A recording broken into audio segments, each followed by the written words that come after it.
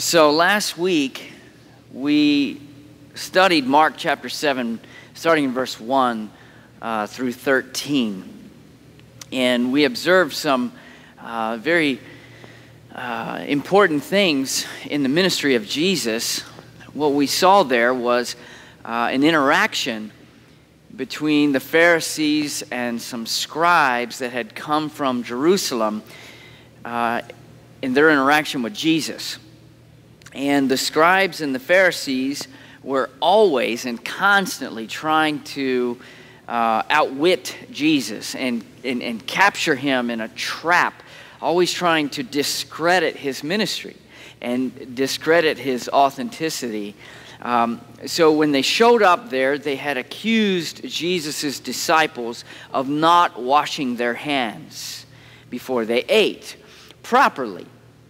Now, the law of God required that priests wash their hands before entering into the tabernacle. There was nowhere in the law of God given to men or given to Moses where you had to go through certain ceremonial rituals to eat some food. But as I taught you last week, the, uh, the Pharisees had begun to build something that they called the tradition of the elders. In, in verse 3 of chapter 7, it says that they were not holding to the tradition of the elders. The Jews had begun to create their own traditional system to add on to the Word of God, to add on to God's law. This was a, an oral law that was passed on from rabbi to rabbi. And in fact, they, they called this oral tradition the fence around the Torah, the fence around the true law of God. And they said that this was supposed to reveal the intent of the law. The problem was is that as time went on, they continued to add more and more and more burden onto God's people that God never intended for them to carry. By creating this own, their own system, they made it almost virtually impossible to live your daily life.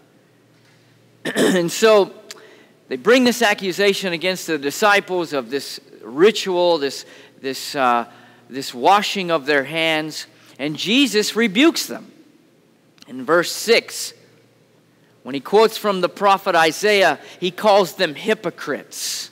Remember, hypocrite uh, of this time was a common term, but not a derogatory term.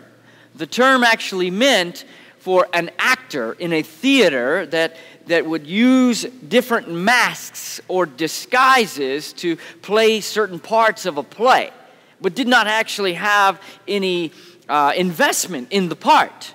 It was just a mask. There was no heartfelt, uh, you know, correlation with the part itself. And so Jesus rebukes them and he calls them these actors. He calls them hypocrites. And he quotes from the prophet Isaiah here when he says to them, The prophet Isaiah was right when he prophesied against you, that you honor me with your lips, but your hearts, your hearts are far from me. Your hearts are far from me. In vain do they worship, teaching the doctrines of men. In verse 8, Jesus says, You leave the commandments of God and you hold to the tradition of men, adding to the Word of God, adding to the Bible, adding teachings of men, opinions of men as if it represents God's heart Himself. This, my friends, is idolatry. This is breaking the first commandment of God, and where it says, You shall have no other gods before me. But when you create in your own mind, you create in your own opinion who God is, what had happened is they had become a God for themselves with their own law. You see, God's law wasn't good enough. It wasn't crystal clear enough. So they had to come up with their own oral traditions to add on to the law to reveal what the intent actually was. This is a form of idolatry. You see, in the Bible, God has given us everything that we need to know about this life. Everything we need to know about Him and to know Him intimately and obey Him. We have no need to create no new book, no new form of laws or rules to be followed based on our own mind, our own experiences, and our own opinions. No, God has revealed Himself, and we must form our knowledge and our experience of Him based upon His Word alone. Period and amen.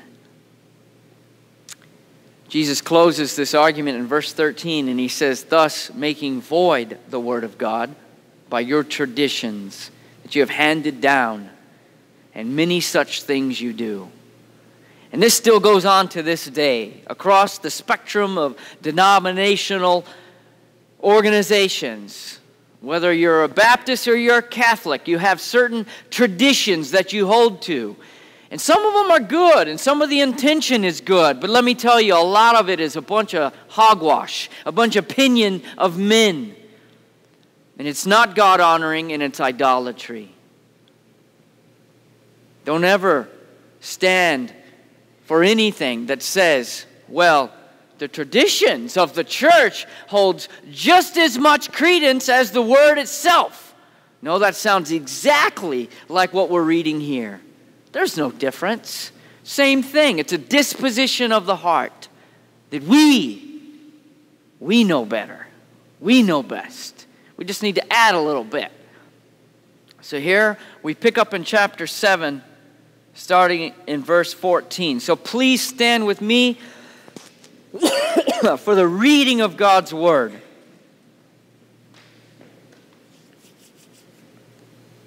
And he called the people to him again and said to them, Hear me, all of you, and understand. There is nothing outside a person by going into him can defile him. But the things that come out of a person are what defile him. And when he had entered the house and left the people, his disciples asked him about the parable. And he said to them, Then are you also without understanding? Do you not see that whatever goes into a person from outside cannot defile him, since it enters not into his heart, but his stomach, and is expelled? Thus he declared all foods clean. And he said, What comes out of a person is what defiles him. From within, out of the heart of a man, comes evil thoughts, sexual immorality, theft, murder, adultery, coveting, wickedness, deceit, sensuality, envy, slander, pride, foolishness. All of these things come from within. And they defile a person. Please be seated and pray with me. Almighty God, I pray that this morning your words would speak forth from me. Lord, you would give me the ability to preach your word, which is holy, which means it is unique, and it is even scary for me to try and teach from it. But God, by your grace, I will stand here and do it. Lord, would your voice go forth? Would you divide our hearts and our minds? Lord, would you set us on the other side of this teaching, more holy, more after your heart, more in tune with your spirit, walking according to it, and saying no to the flesh. Let us bring honor and glory to your name by the very thread of our lives. I pray this, Father. Please hear my prayer. Please hear my prayer. In Jesus' name, amen. So, what defiles a person? Here in verse 14, Jesus has called the people to him again. He's called the people to him again, and he said to him, he said to them, Hear me, all of you, and understand. You see, here Jesus is calling for everyone's attention. He, he, he's like, Stop the train for a moment.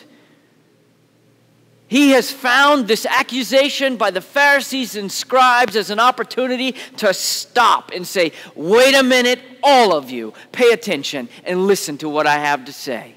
For this is important. This includes us today. This includes us today. Stop and pay attention to what he has said. In this statement, Jesus, he wants all people to understand with crystal clarity in verse 15 that there is nothing outside a person that by going into him can defile him. But it is the things that come out of you. It are the things that comes out of your heart that make you defiled. To establish the groundwork here, Jesus makes this dogmatic statement Defilements come from within. So, where and how are a person defiled? I asked that question, and let's answer it this morning. The things that come out of a man the things that come out of a woman, the things that come out of a person, Jesus here is establishing is what defiles. That is what defiles. You see, the disciples didn't understand what Jesus was saying. So often they didn't understand his teaching. So, like the pattern we see, once Jesus and the disciples have gone on a little bit and they're now by themselves, kind of an inner circle, they ask Jesus to explain. Please explain. So, if you're a disciple, I ask you right now how often do you ask Jesus to explain things to you? When's the last time you bowed your knee in prayer when no one was looking, just you and God? You bowed your knees in prayer and you said, Lord, I don't quite understand this. Would you please give me wisdom and insight into the text this morning. We should be doing that on a daily basis. I hear people, they come to me and say, I wish I understood the Word of God like you, or I wish that God would speak to me in such ways. And I always ask them, You tell me, when was the last time you got down on your knees and humbled your face before God and asked Him, Please, God, show me the insight into this text and wrestle over it. And then just didn't get up after two minutes. There are things within the scripture that I have asked God about, and some of them have, it's been a year or more. And one day God answers, and it's crystal clear. That doesn't happen all the time. But I keep asking. We should always keep asking. If you don't understand a part of the text, ask God. He will show you. So here we see the disciples doing just that. Now they had Jesus face to face. We don't have that, but we do have him in truth, in presence, in his spirit. But they ask him face to face for some clarification. And so Jesus does. In verse 18, Jesus points out number one, their lack of understanding. And then he says, Do you not see? Whatever goes into a person from the outside cannot defile him, since it enters not his heart, but his stomach, and is expelled. Now, we've got to stick to the context of what's going on here.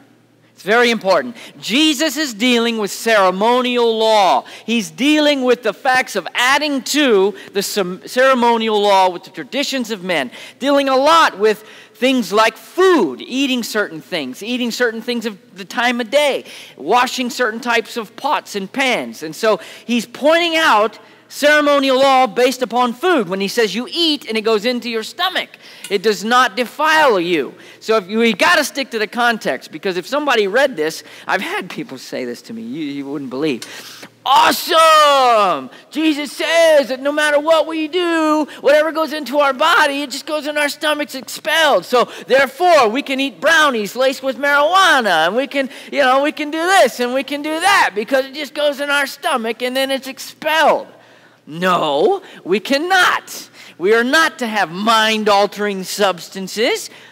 Just because it's edible doesn't mean it's profitable. Trust me, go eat some mistletoe and see how that works out for you. Not very good, I will tell you. Disclaimer do not try this at home, kids. It will kill you. Uh, mistletoe is uh, poisonous. So, anyhow, I just wanted to point that out. this, um, this is far removed from what Jesus is dealing with here. This became very, very, very, uh, very, very, very contentious debate in the early church when it, when it comes to eating. Okay? So, Jesus here, Mark puts in the parentheses, has declared all foods clean. All foods clean. This became a very, very contentious debate in the early church. And it took a long time for the disciples to even to, to start getting away from the oral traditions or even the written law. Mark adds to the verse 19 and says that Jesus declared all foods clean.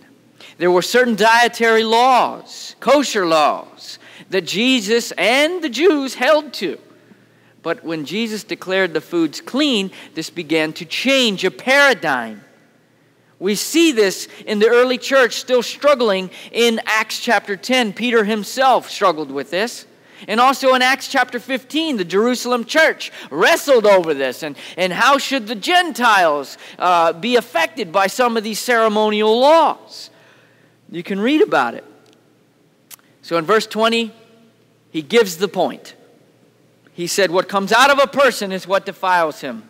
Verse 21, Jesus taught with the authority of God. He reveals the true meaning of the law.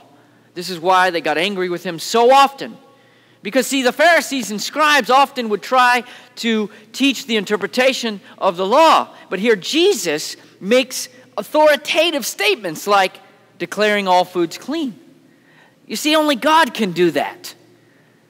That's why it was so confusing to these Pharisees, because either he was God or he was not, and they could not acknowledge the fact that he is God in the flesh. That's why they called him a blasphemer. That's why they wanted to kill him. For from within, out of the heart of a man comes what? What does Jesus say? What does he say that comes out of a man, out of his heart? Comes evil thoughts. What does the scripture say? Read it in your own Bible. What comes out of a man? Evil thoughts. Sexual immorality theft, murder, adultery, covetousness, wickedness, deceit, sensuality, envy, slander, pride, foolishness. All these things come from within, and they defile a person. Jesus again is pointing back to the Pharisees, who on the outside looked clean, on the outside were morally straight, obedient to God on the outside with all of their rituals because they washed their hands, looking like they had some form of piety. So Jesus is saying it's not the outward purity that God is concerned with, it is your heart. They were so busy with ritual cleansing, ritual ceremonial cleansingness that they ignored the more important internal, internal heart issues, the moral compass. The purpose here of the ceremonial laws was what? What was the purpose of God's ceremonial laws? It was to show the holiness of God. Do you know what holiness means? It means unique, it means separate. It means that God is unique within Himself. There is nothing in all creation that is like Him. He alone is God. Therefore, He is holy. So, part of the ceremonial laws were to show the Jews that He is holy, and not only is He holy, they were to be separate as well. They were to eat separately than the rest of the nations who would what? Sacrifice their foods unto idols. That's what the purpose was. It was also, don't ever forget, Galatians chapter 3, verse 24. Memorize it. The purpose of the law was to teach, to instruct, to point to the need of a Savior. It was to point to the Savior Jesus Christ. That the only way to come to God and be accepted by God is through Him. So, this is now about the acts of a heart. The acts of the heart. Verse 21, Jesus points to the actions and attitudes of the human heart.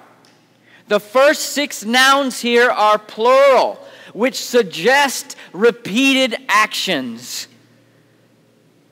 Repeated actions. Look at the list. The actions are where? First. These actions are first birthed out of evil thoughts. Does it not say that in your Bible? Evil thoughts, evil ideas.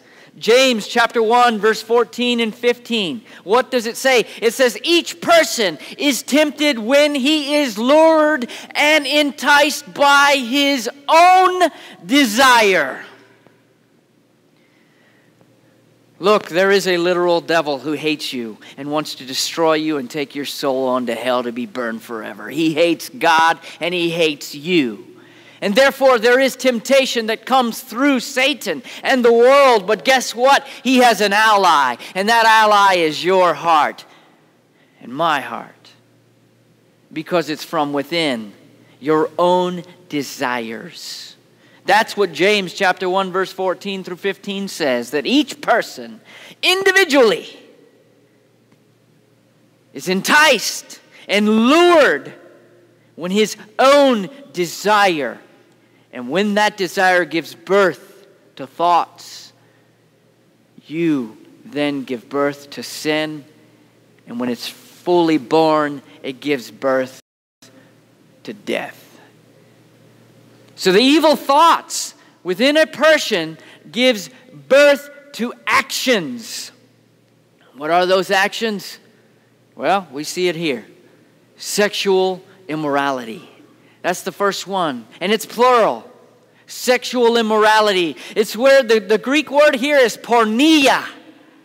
Porneia. And it means illicit sexual activity of various kinds illicit sexual activity of various kinds that are unlawful outside of marriage, fornication.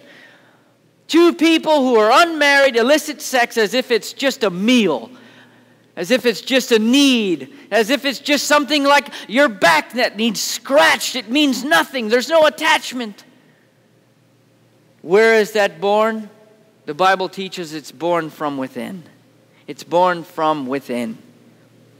Next, thefts. Thefts of various kinds, stealings of, of things that do not belong to you, regardless of its value. Murder. You say, Well, I've never committed murder, and I don't know anyone who's committed murder. Well, guess what Jesus said about murder? Jesus said that if you have angry with your brother without fault, it's just as if you've murdered them. You see, that's where murder comes from, is from an anger within that's uncontrolled. I think there would be a lot more murder if there wasn't the threat of being in prison for life or the death penalty. It just uh, scares me sometimes if you think about a society that, where the restraint of government is taken away, a period of time where the infrastructure of a society is removed, then you will see real quickly the abilities of the human heart. Some people have seen it in war, seen the evil that can take place in an unstrained, unrestrained environment where the human heart is left unleashed. Murder. What's next on the list? Adultery. Adultery, which is illicit sexual relations by a married person outside of the covenant of marriage, not within the gift and the beauty and the sanctified union of a man and a woman who's given the gift of holy intimacy by God, and it's a beautiful thing. No, no, no, that's not good enough. We've got to step outside of that. And that desire comes from within. It's an idea, it's an evil thought that when enticed and lured by your own desire, you commit adultery.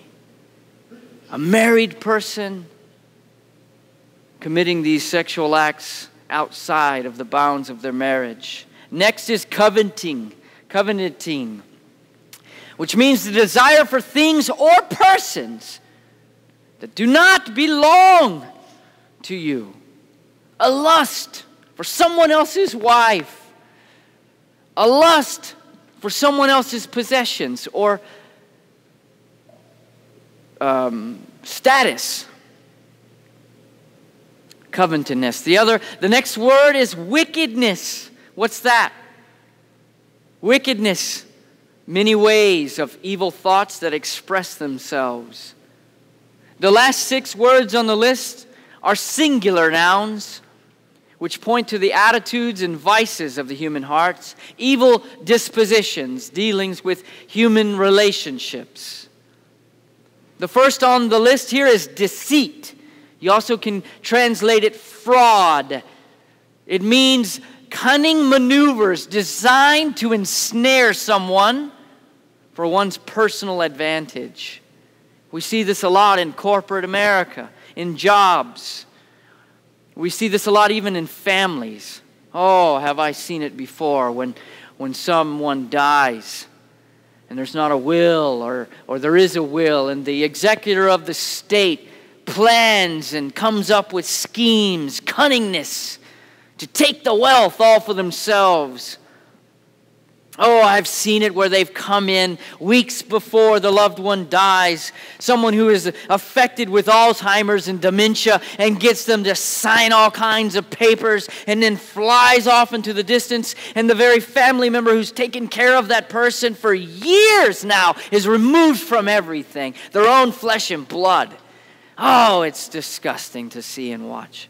It is a hurtful thing. Where's it come from? Jesus tells us from within.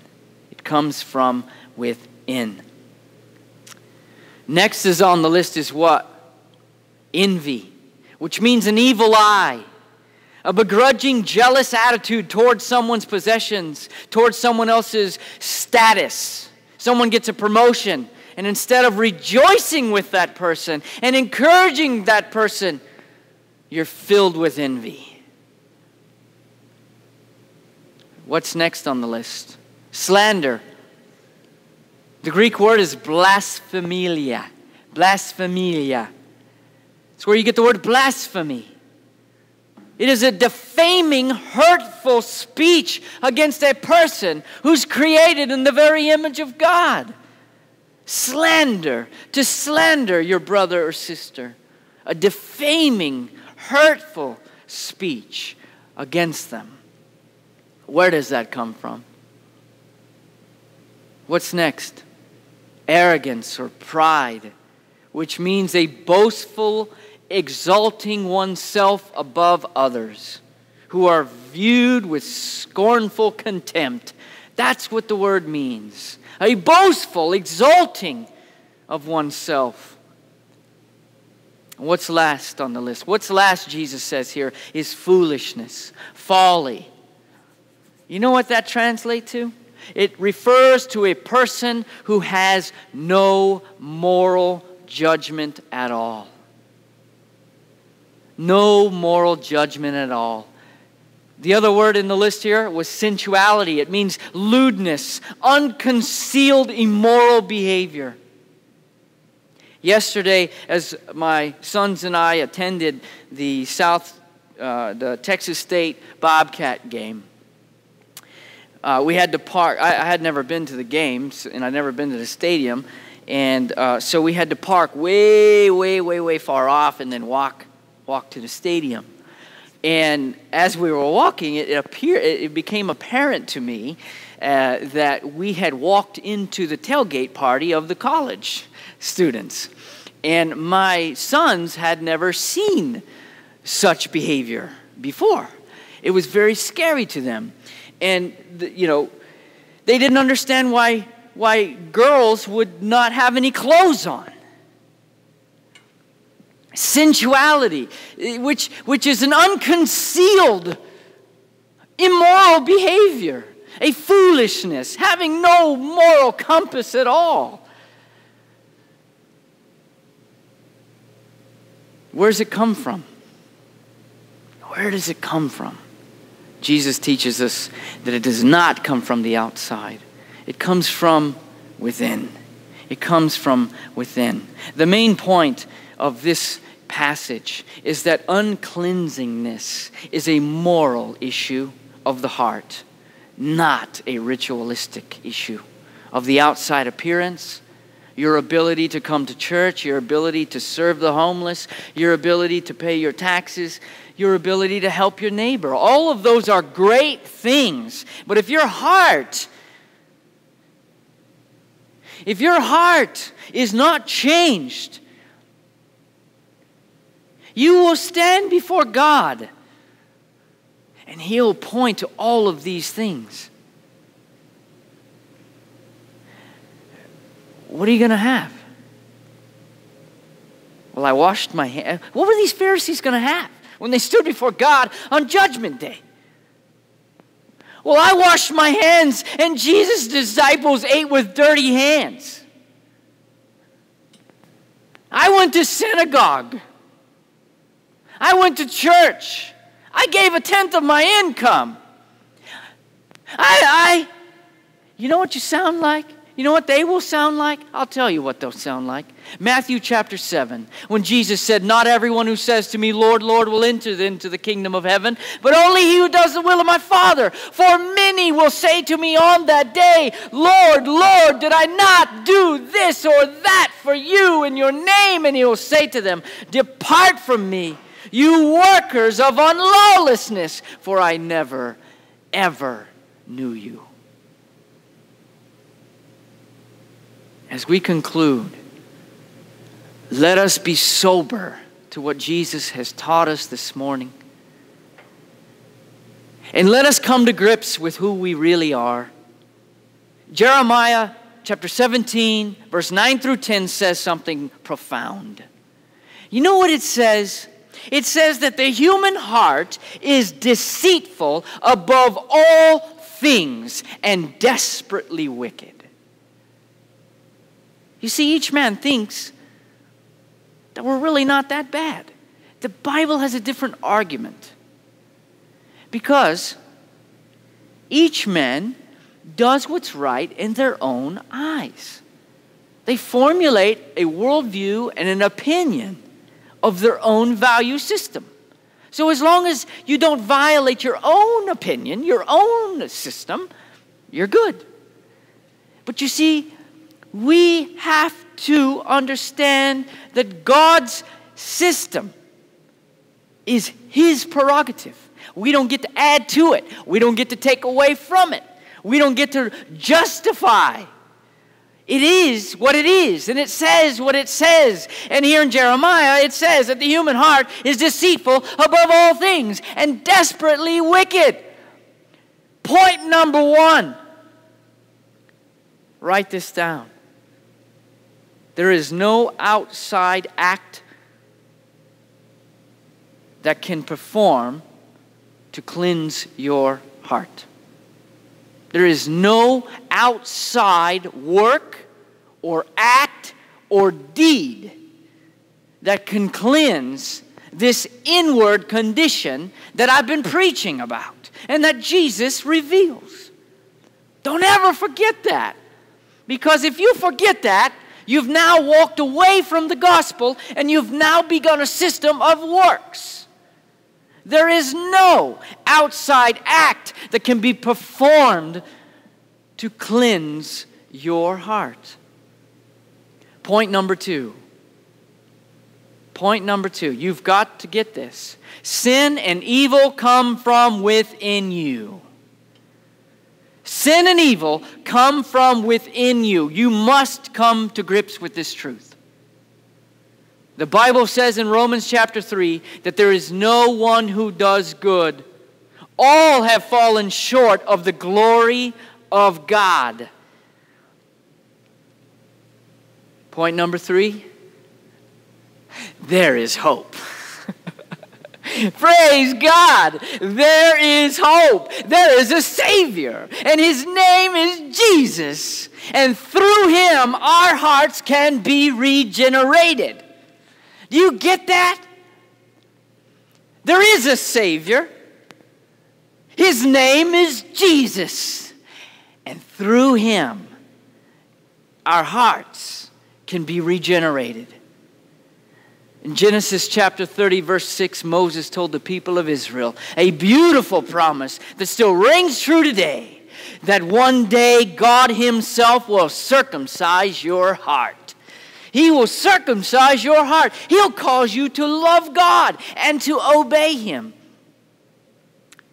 Ezekiel chapter 36, verse 26, the prophet promised that one day God will remove your heart of stone and he will give you a heart of flesh. He will give you a new heart. He will give you a new heart, removing the old one. Second Corinthians chapter 5 verse 17, a glorious verse says that therefore anyone who is in Christ is a new creation. The old is gone, and behold, the new has come. So, point number three there is hope. There is hope for the sinner. There is hope for the evil, wicked heart of mankind. And point number four through faith in Christ, we are born again. You see, everyone in this gym must be born again. There won't be anyone here that, unless you're born again, you'll enter into heaven. For Jesus declared it as a dogmatic truth. Don't ever forget it. He said, unless you're born again, you can't even see the kingdom of God. You can't even see it. But through Jesus Christ and faith in Him, we are born again. We are made alive who were dead. We are made new and we are declared justified before God.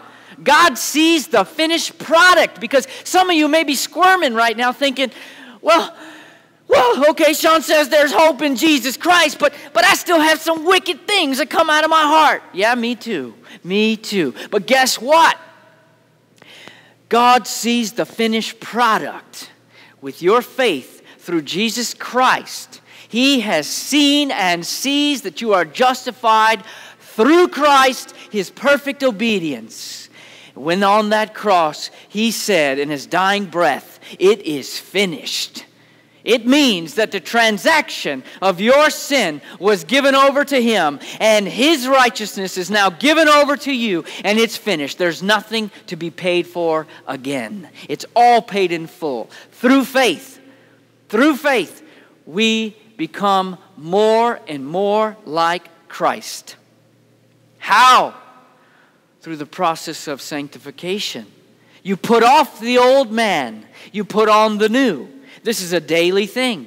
This is a daily thing. For, for it is no longer I who live, but it's Christ who lives through me. That's what the Bible teaches. Through the gospel, we are now able to live through Christ and the power of His Holy Spirit, walking according to that Spirit and not gratifying the sinful nature. How do you do it? Through faith in Christ, believing on Him alone, full confidence in His work, and being justified alone in Him, throwing off everything that you would ever hold to yourself that you would stand before God and say, Oh, I, I hope that you'll forgive me because of my sincerity of being sorry. That's not hope. You see, I've had people tell me that. God, God's going to forgive me because I've said I was sorry for my sins. No. In reality, all you're doing is trusting in yourself. You're trusting in your, your sincerity. No. There's not hope in that. There's not hope in that. Why? Because the human heart is desperately deceitful. See, your own heart will tell you, oh, God knows me. He knows my heart. He knows I'm sorry. But see, what your heart isn't telling you is that God is a judge. And He made a law. And when that law is violated, there is a punishment. And that punishment is called eternal separation in a place called hell, prepared for the demons and angels to burn forever. Your heart don't tell you about that.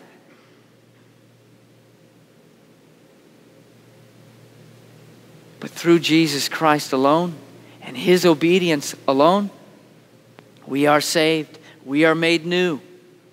We are given a new heart. We now, instead of like a fish swimming downstream with sin and the world and the world's ways, we now have the ability to say no to ungodliness and to choose to obey God rather than your own heart. How do we know that? Because the Bible teaches us in 1 Corinthians chapter 10 For there is no temptation that has overcome you that is more common than any other man. It ain't just you. You know, the devil will tell you that. No one else has to suffer this type of temptation. No, that ain't true. We all have the same human heart. And if we're honest, just think about it. Not even your actions, just take your thoughts, things that you have thought before. right? If we're honest, though, we'll know that we have, we have no confidence in ourselves. But it's through that regenerating power of the Spirit that teaches us to say no to ungodliness. So, therefore, I leave you with this.